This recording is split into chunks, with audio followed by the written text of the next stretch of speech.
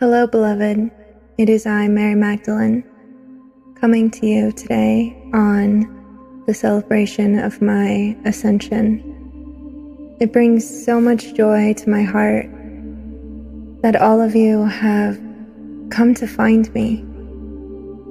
And this shows me where you are collectively at on your ascension journey. I'd like to invite you to join me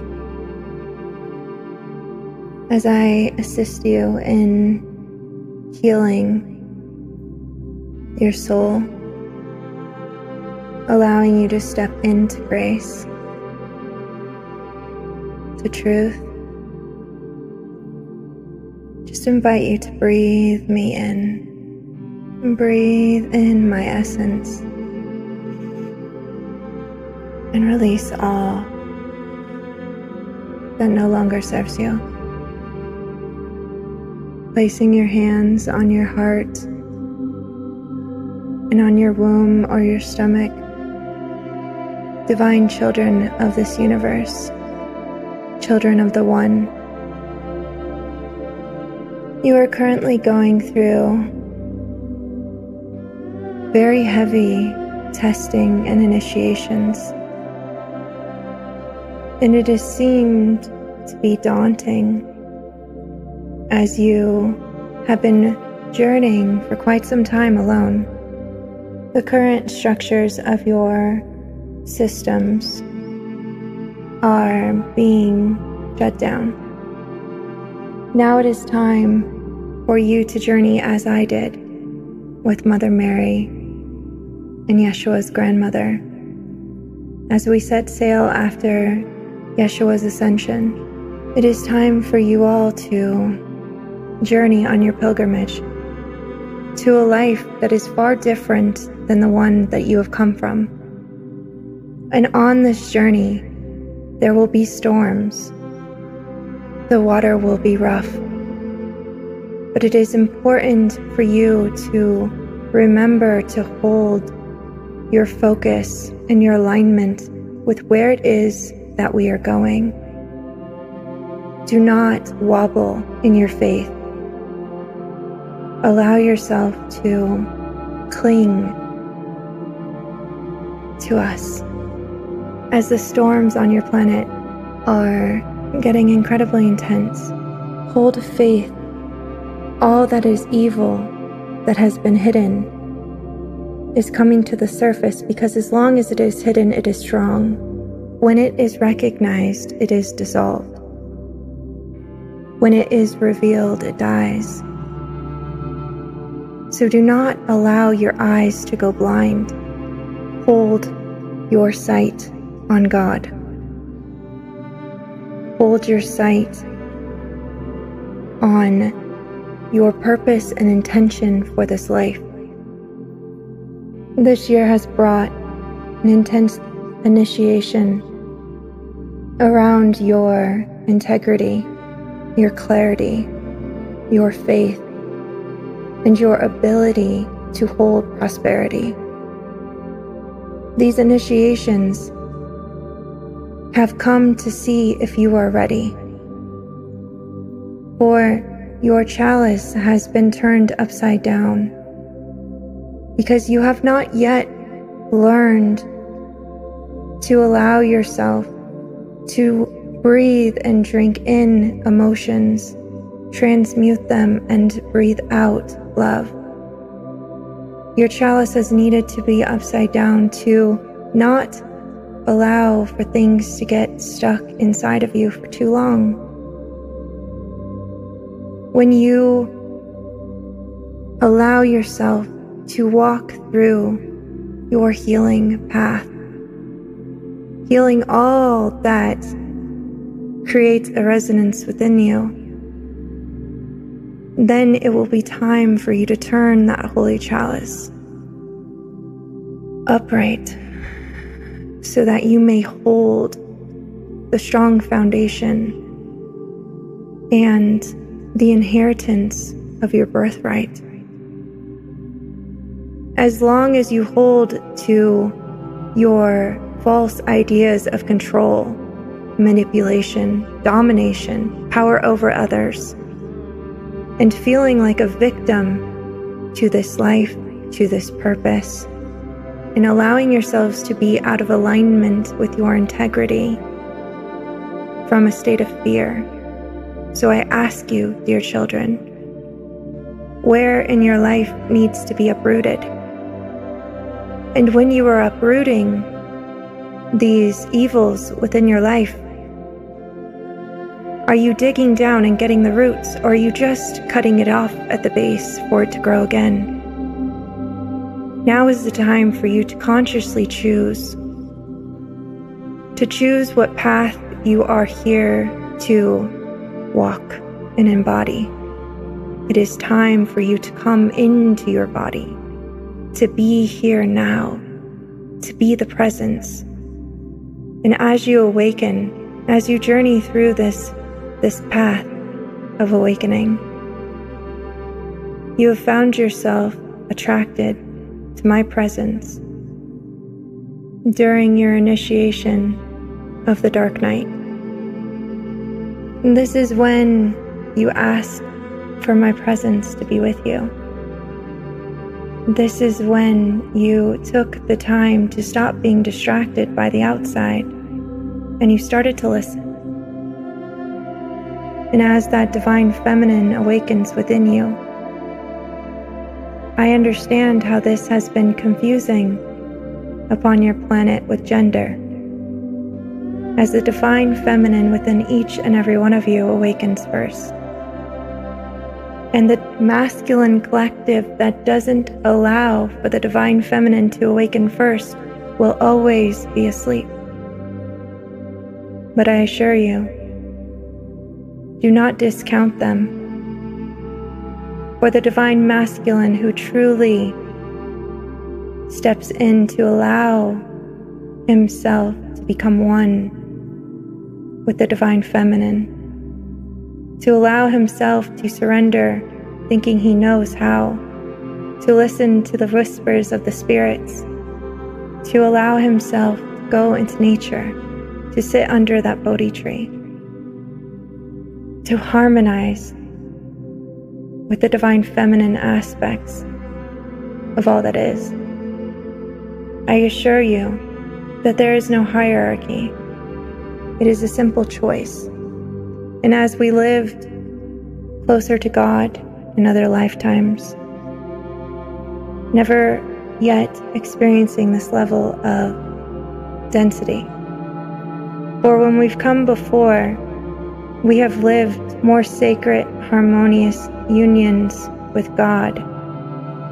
Never have we ever been so far removed and separated and at this level of density. So I assure you, dear children, no matter what it is that you perceive to judge yourself for, allow me to release this from you now. You have nothing to judge yourself for. The only mistake is to continue journeying down the path of darkness and illusion and separation, and giving your power away, not allowing yourself to awaken and embody as heaven on earth.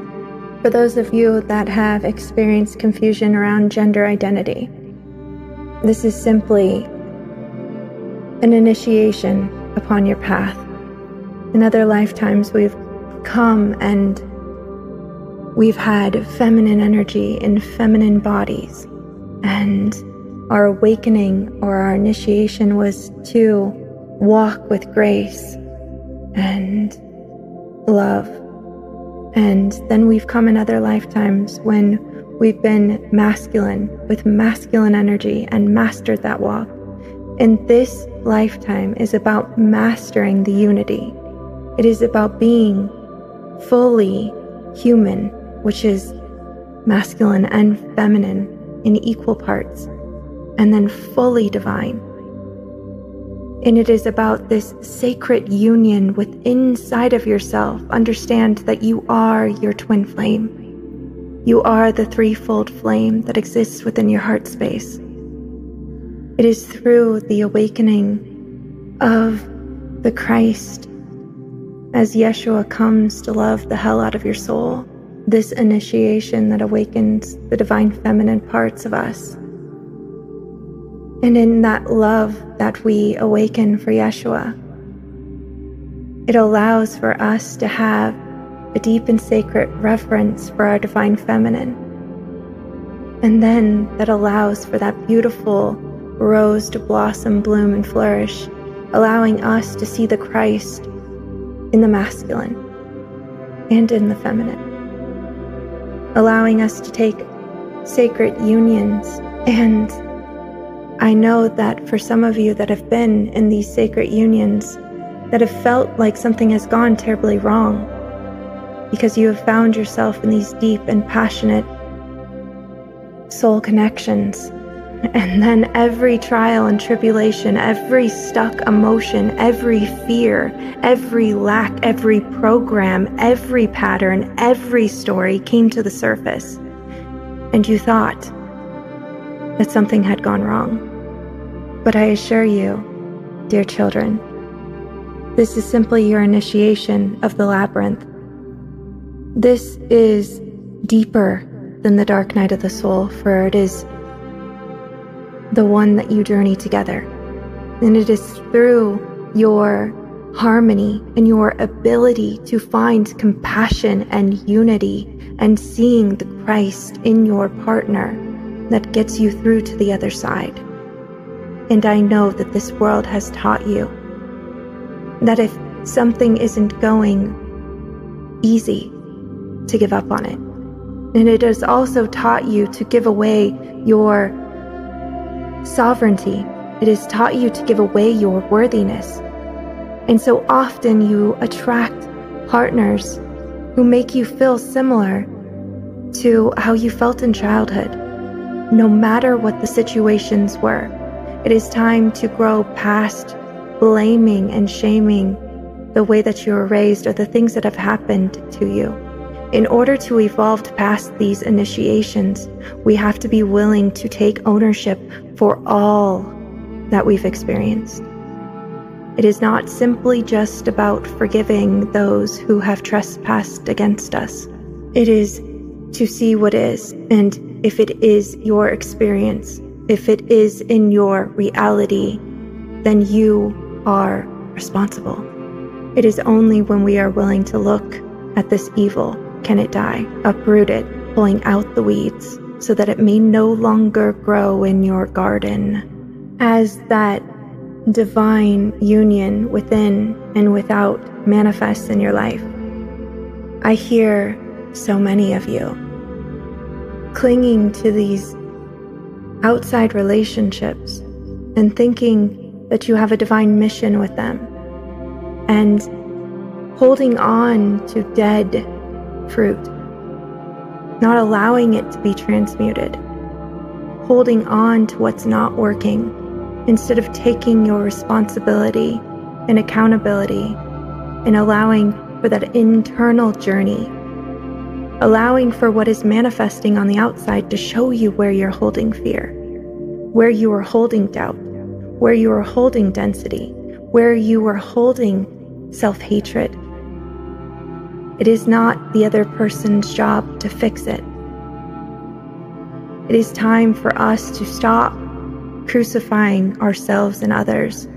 It is time to stop thinking that by creating rules and having a false level of control, that that is safety. As Yeshua said, go and preach the gospel about the kingdom but don't lay down any rules beyond what I've given you, nor make laws like lawgivers, lest you be bound by it. Every time we set unattainable goals or rules or laws for ourselves and others, we bind ourselves to this physical dimension. When we rise above this world, we can no longer be bound by it. So, whatever is going on in your life, what are you giving your power away to? What are you making your idol, your false god? Don't fear the flesh and bones. Don't fear the physical, or it will rule you. It will master you. And if you allow yourself to love this physical realm, you'll be swallowed and choked by it. This simply means that this life is to be experienced but not worshiped or attached to.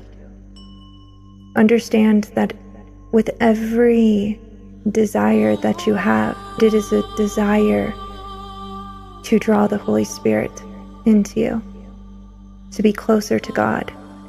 Every time that you love, every time that you lack and desire, it is a desire to be closer to my holy presence.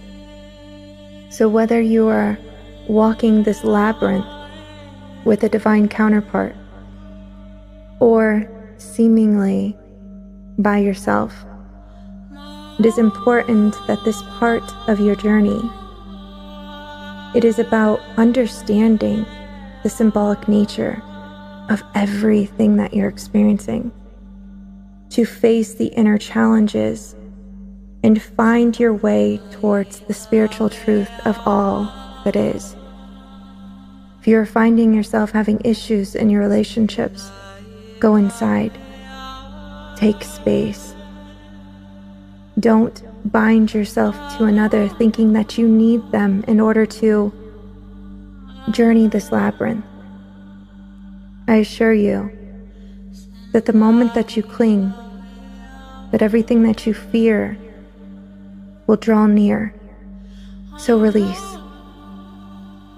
Remember, every emotion, it only lasts 90 seconds.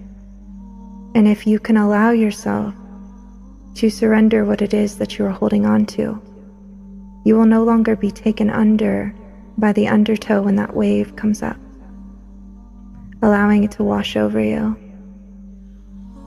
and then go right back out. And just allow yourself to gently move with the rhythms of the tides in the ocean and staying focused on that center point, that light calling you forward. Noticing when things are coming up to fear, noticing when trials and tribulations are up. It is not to bypass your lessons, for if you don't learn those lessons, you are destined to repeat them. So, by focusing on that center point and not overcoming your lessons. It is just like chopping down that tree at the base without getting the roots. It is one thing to take accountability and to do something to shift it, to take action, to heal, to learn, to find the deeper spiritual meanings. And it is another to bypass to say that that doesn't belong to me and I don't want to look at it because it's lowering my vibration. That is separation consciousness. That is a sin. Your path and purpose is to feel and know your connection and your oneness to all that is. You've all hit a choice point this year. And whether that choice point came up as a financial crisis, a health crisis, a relationship crisis, a career crisis, a belief system crisis. Understand that this came up to show you that you can no longer pass go on the road that you've been on. There's some things that you have been bypassing or living out of alignment and integrity with the truth of your soul. Just as in the alchemical process of the divine masculine and feminine. In this life, we've all taken on different names. Those who have harmed us in previous and parallel lifetimes, and those that we have harmed, have come in as our blood family, our partners, our children. And this is for the ultimate initiation of Christ consciousness. Can you take accountability and teach them how to love as you do? Can you love them while they're hurting you without allowing yourself to be sacrificed? Can you stand up for your truth? Do you know your worthiness? Where are you giving your power away? Where are you worshiping false idols? Where are you still holding yourself as a victim? Where are you telling yourself that someone else is more capable than you? Playing small because you're still holding fear of being persecuted. Now is the time to step into truth. The next initiation will show you your immortality. And in this stage, you will connect to the eternal aspect of your being. It is to live the resurrection. So I invite you to understand that if the water is rough on your journey and it is causing you to doubt and grow faithless, allow this to be your meditation bell, your strength that you pull in through your crown, down your spine, to sit at the base of your spine, to give you strength as you journey forward, activating that cosmic fire within. For those of you that feel ready to turn your chalice right side up so that you may hold all that you breathe in and alchemize it and transmute, release, to allow you to be rooted and grounded in this physical dimension, to hold prosperity, to hold a solid foundation. Doing this too soon will cause pain. You will hold on to things that, that are not for you. So notice if it is difficult for you to release in this stage after you turn it right side up, that it is your power you are able to turn it and dump it back out. And just tuning into your womb and for the masculine embodiment, you can turn into your stomach and just feeling this beautiful, holy, sacred chalice? Is it flipped upside down or is it right side up? You can pull it out and look at it. Allow yourself to bring in this beautiful, healing, white light, allowing it to purify, alchemize, and just wash that beautiful, holy chalice clean. Sparkling diamond light. Mm. There's a reason why, when the Prince of Peace comes, that he is to find no resonance in us. So notice if there's things coming up that are triggering you. It is not the other person, it is not the situation. It is a holy miracle that is allowing you to see what has been hidden. It is allowing you to see what you are ready to heal, to complete, to release, the judgments that you've been carrying. It is time for forgiveness. It is time for love. It is time for grace. It is time for divine faith. And putting that beautiful holy chalice back into your embodiment. and tuning into your heart space. You are all being called to journey forward. Listen to what your heart is calling for. If you don't know what it is, I invite you to spend time out in nature without distractions. Leave your phone, leave all electronics. Just go out in nature. Take your shoes off. If you are with other people, allow yourself to sit in silence for at least one day and just listen. Every time the thoughts come up, surrendering them down into the core of the earth to be transformed. And just listen. When the guidance comes in, it will feel like a calm, distant echo in the wind. Notice when you go to cling when that guidance comes in. And when that guidance comes in, you can gently tune your radio dial and set your frequency so that you can hear that guidance on a daily basis.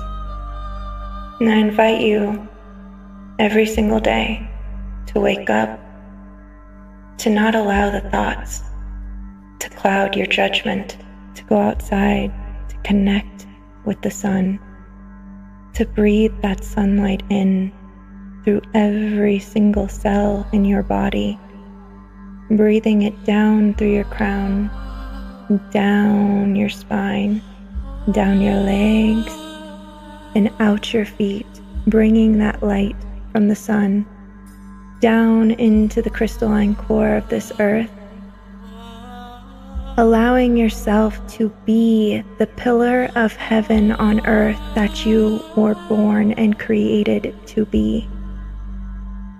It is this one task that you have every single day that is your path, that is your purpose, is to just be the light, to bring that light inside of you, and to bring that light down to the core of the earth and allow that light to touch all that lives. And so it is. And so it is done. Beloved, I love you. It's time to come home. It is I, Mary Magdalene. I am always with you.